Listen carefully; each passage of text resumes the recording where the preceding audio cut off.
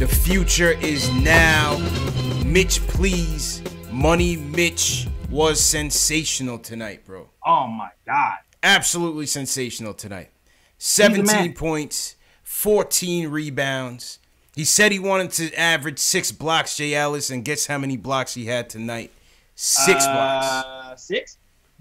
Talk, talk, talk about Mitch tonight, man. We're gonna get to ISO, but Mitch was the star of the game tonight, man. Talk about Mitch tonight, bro. Oh yeah, that's a fact. That is a fact. Mitch was a man amongst boys. Listen, listen, Fizz. This is what I'm gonna need you to do. At the start of the game, do not, I repeat, do not have Vonleh playing center Yeah. anymore. Please stop it. It's, it's, stop. it's not even necessary at this point. Not, it's not. It's not necessary. And I know the man, the the, the playing defense from, from one through five is a myth. Yeah. It's, it's fake news. It, it, it doesn't work. Von Vonleh is Play- play- definitely with the tank. If you if you Yeah.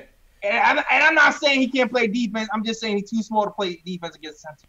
yeah Mitch should have been starting from the jump. yeah And as soon as Mitch got in the game, the game changed. game change. Period. So Game much changed. so that Fizz did not want to pull that man out. Yeah, Mitch had to pull himself out. true. Mitch had to point to the bench like, "Hey, dog, I'm good right now. Like, I need a breather." Yep. And so, so kudos to Mitch for making Fizz realize you're here. I wonder what's going to happen next game if Mitch is going to be starting because that man probably needs to start line. I mean, how can he not, man? How can he not? 17 points, 14 boards, six block shots, and four steals on top of that. Forced. Four steals. He threw a guy into the first row, which I was proud of. I forgot who that was. Somebody number 25 in the Magic. He blocked his shot. My man flew into the cameras. That was excellent. Uh, Oh, very man. vocal out there. Goon Goon Squad Mitch was out there tonight. Definitely was out there in effect. Yeah.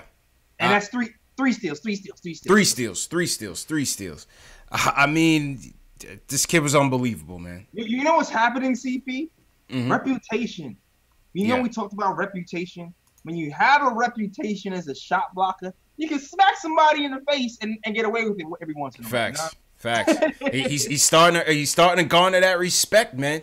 He's starting Yup. to garner that respect because I even saw like late in the game, Fournier was was scared was scared to take it to the hole. You know, he he, he was driving to the hoop, saw Mitch and, and pulled it back out to reconsider. Um, Aaron Gordon felt the wrath, and don't get me wrong. Listen, Aaron Gordon beasted, Vucevic beasted. Um, Jonathan Isaac had his moments. You know, that was the reason why they they pretty much dominated us for, for three quarters. Um, but Mi- Mitch held his own, man. M- M- Mitch held his own, man. They all That's a caught fact, it. man. Game ball goes to Mitch without Yeah. a doubt.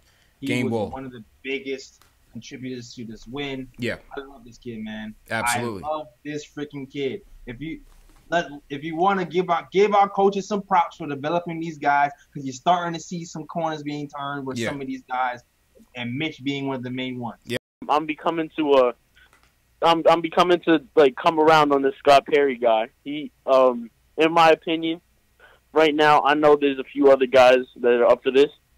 But if the Knicks next year, if they have an excellent year, I think he should get executive of the year.